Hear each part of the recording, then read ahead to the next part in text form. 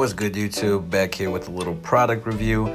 Uh, I constantly be seeing these IG sponsored ads for this company right here, and I finally took the plunge and went and ordered me one of these aprons. So as you've seen, uh, the, the apron came with a little sticker as well. Um, the packaging was just A1. You, you've seen the logo on the little plastic uh, bag they had there.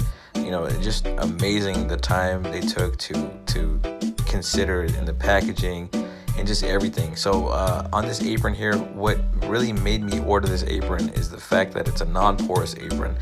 Um, I have a lot of aprons where hair gets under and everything. So this right here is non-porous. Um, as you can see here, there's pockets on both sides and also uh, in the middle of the chest area, zipper pockets. And one of the things that really, really sold me on this product is the cross, uh, the crossback straps. Uh, a lot of aprons that I have, they're just you know parallel straps. But what really got me is this right here, the cross strap. Um, it's really comfortable. It's it's so much more comfortable than just regular um, vertical strap aprons.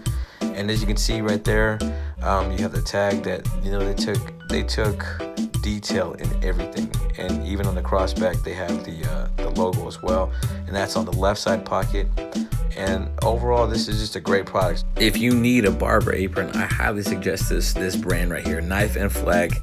You can find them on the internet find them on ig order you one today. I promise you will not be disappointed. I've been using them for about a week and it's just been great. If you're not subscribed to the channel hit that subscribe button smash that like button until next time peace